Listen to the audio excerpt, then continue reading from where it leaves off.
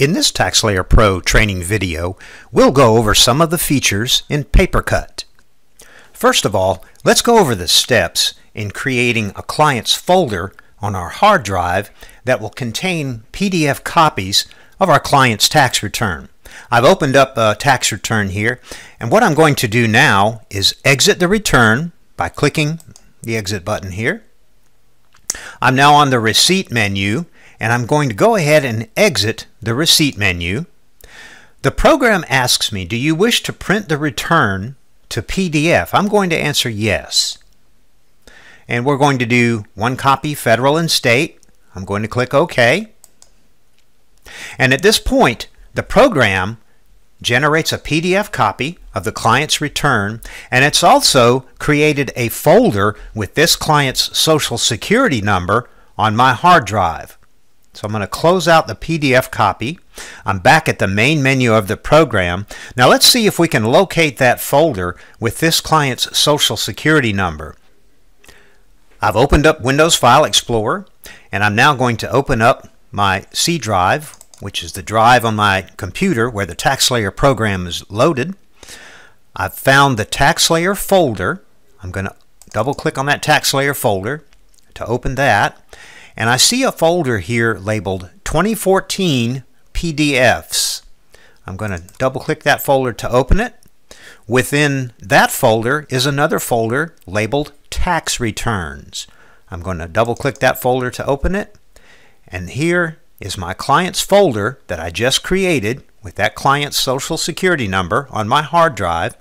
If I double click that folder to open it, I see that I've created a PDF copy located in this folder of my client's return.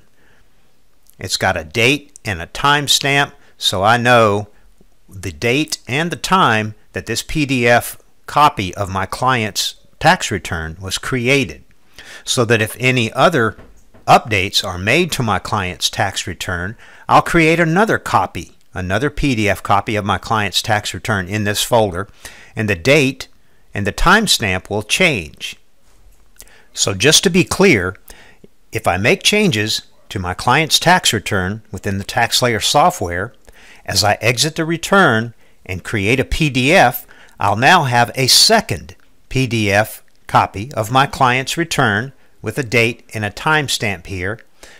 We could open that PDF in the program showing the changes that we made to the client's return. In other words, you have a history of all of the changes made to your client's tax return within this client's folder. Now, one other important point about pointing you to this client's folder.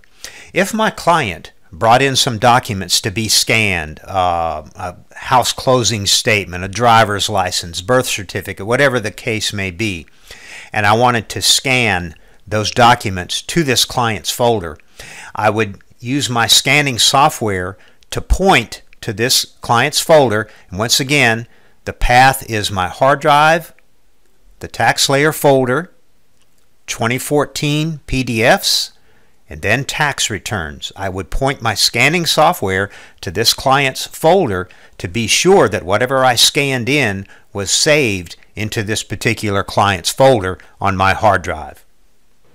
Alright, I'm back at the main menu of the software now, and let's assume that I want to open up the PDF copy of that client's return that we just generated. Now, remember, I showed you where the PDF copy is located on my hard drive, but that PDF, that file copy on my hard drive, I can't open it directly by clicking on it. That file is encrypted. I can only open that PDF copy of my client's return while in the software here. So what I'm going to do first is click on the PaperCut icon. I'm going to click on the Tax Returns tab to bring it forward. And here's the copies of all the client's returns that I've done so far. And I'm going to locate that client's return, the one that we just created. Double click on that file. Here's the file name, the date modified, the size, double click on that and I can open up and print the PDF of this client's tax return. Now remember I told you uh, earlier as we were pointing to the location on my hard drive that if you could point your scanner, your scanning software to that folder. A quicker way to scan a document into this client's folder would be to use the little scan button right here. So if I click on that, I have some choices here. If I have a Motorola handheld scanner, I could use that. If I have a desktop scanner, I could use that. Or I could simply select a file on my hard drive that I wanted to copy into this client's folder. So this is a quick and easy way to scan documents into this client's folder while I've got it open.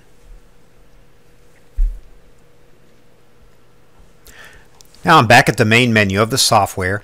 Now let's look at another really great feature of PaperCut. I'm going to go up to the PaperCut icon, open it. Now let's say for instance I want to email my client a PDF copy of his return. I'm going to click on that email tab to bring it forward and notice I don't have any clients showing up in here so I'm going to put a check in the box to show all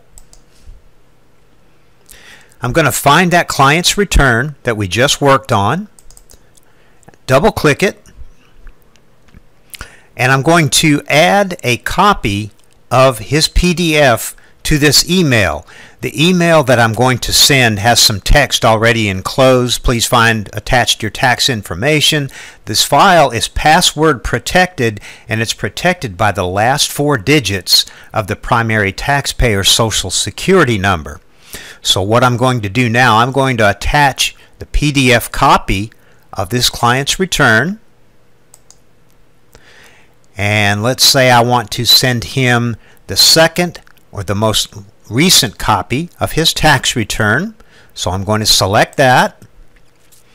I don't have another file to attach, but if I did, I could just simply hit the drop down menu and it will show all of the PDF documents, all of the scanned documents in this client's folder.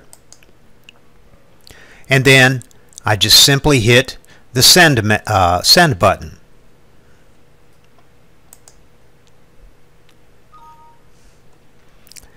Tells me that the email was sent successfully. I hit OK and my client now has access to an emailed copy of his tax return.